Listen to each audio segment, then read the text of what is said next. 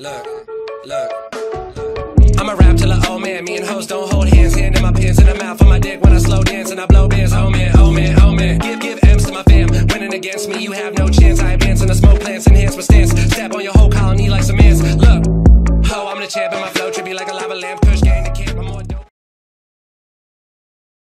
What's going on guys, Casual Savage here and in this video I'm going to be showing you this really cool crop music style transition and also video effect in Vegas Pro 16.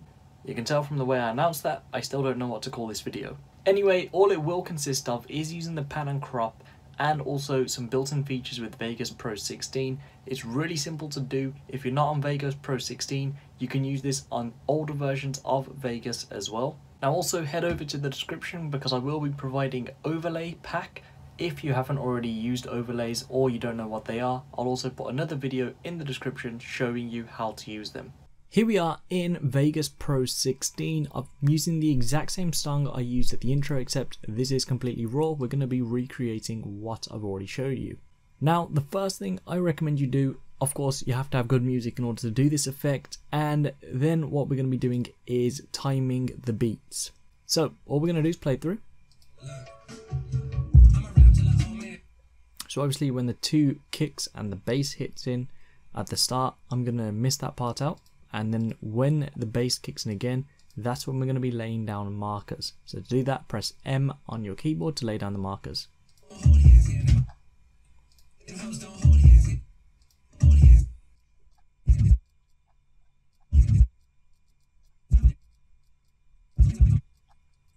Now, I've set up my markers, so the markers are on each time the bass kicks in. The next step you're going to be doing is working with the top clip. So you notice I've got two clips here, two different clips, and all we're going to be doing is pressing S on our keyboard. Then you're going to be selecting the pan crop tool. Now if you have a second monitor, I do advise to put it on a second monitor, so then you can um, see your screen, and of course you can see the pan crop really big as well. However, for the tutorial I'm going to show you like this.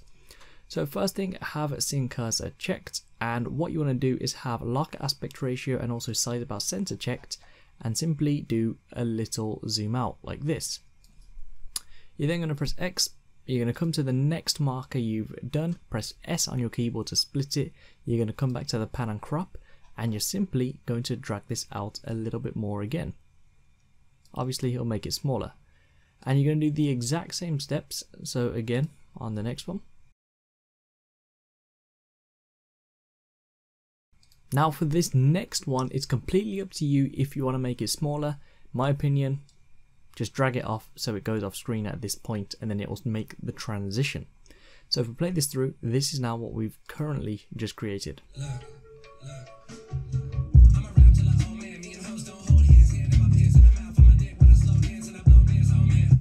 Just like that. So when the bass kicks in, it goes off screen. And each time the bass kicks, it goes smaller and smaller until it goes off. So another trick I done which may not have been too obvious, I actually played around with black and white on both videos. So starting with the first clip on the first track, I drag on the black and white onto this part where the bass starts. I've already split it. And all you're going to do is toggle the animation.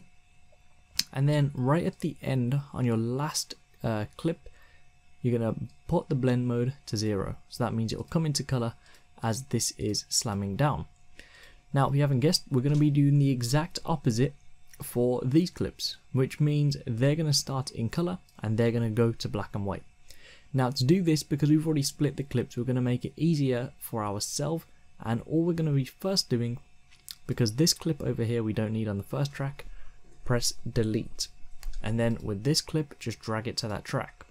Now with the default black and white, drag and drop it onto the video track itself over here. Notice it's now all gone black and white, that's what we wanted. But we're going to turn this off at zero. We're then going to toggle the animation by selecting this clock. Now right at the beginning here, what you want to do is select add a keyframe. So you can see it will stay at zero. Then at the very last keyframe, so just click to the end over here, just put that blend mode all the way up. Now if I X out of it, this is now what we've got. Now it is a very very subtle um, difference, however, it's just a little uh, addition you can add just to make the effect look a little bit more better. So for those that don't understand, the bottom track as we're going across, it is changing from black and white into color, and the top track is going from color to black and white, and then we switch scene, just like that. So playing it through one more time.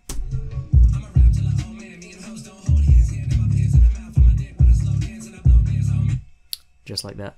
So now I'll be showing you the other thing I'd done, which was basically having the video pop in and out.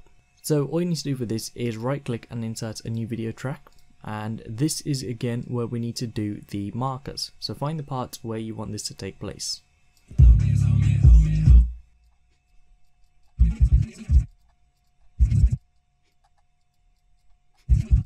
Okay, so I have my markers laid out and we're going to be working with the exact same clip we're doing the effects with. So to do that, press S on your keyboard right where your first marker starts, press U just to separate from the audio if there is audio connected to it, press Control C and Control V to the track above.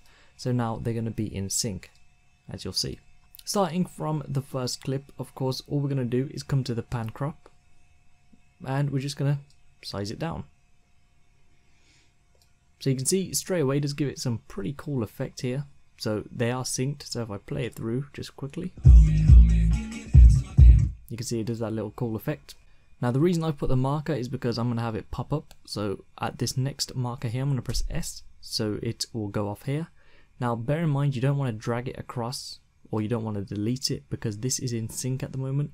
Just literally trim the clip to the next scene, press S, trim to the next scene, press S, trim to the next scene, and I'm going to press S just here. And now I can delete the rest. So I'm just to play this part through.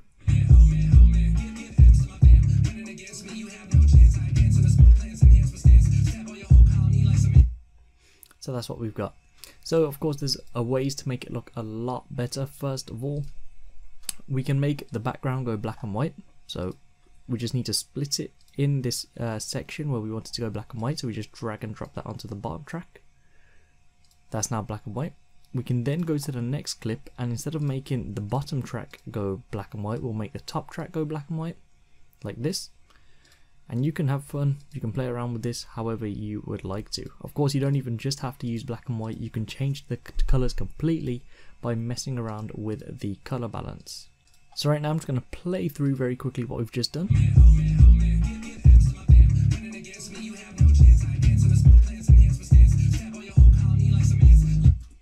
And there you go. So it's just a little cool effect like that.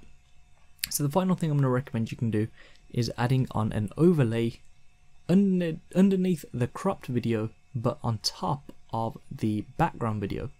So to do that first of all right click and insert a new video track above the bottom track and you will need some overlays. I've done tutorials on before where to get overlays and what you can do with overlays. However I'm going to be showing you uh, what you can do with it now. So here's the overlay. I'm going to drag this back to the part where we have um, this video in the background. I'm going to drag this back. So first of all, this is now what we're going to get, that as the background, but we don't want that completely. Couple of things you can do, first of all, is turn down the opacity of this. And I'll just play this through.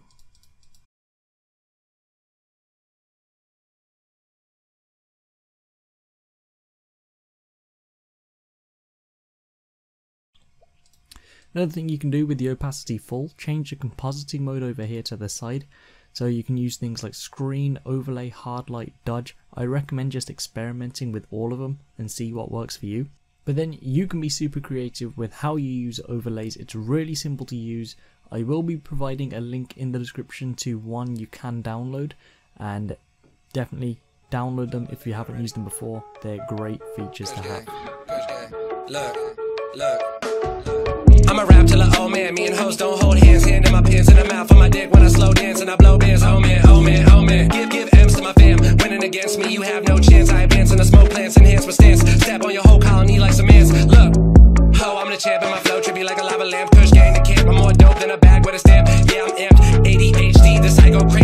rock the nation. Someone tell Jay Z, no one can play me. My gun off safety. So everyone just take five steps back.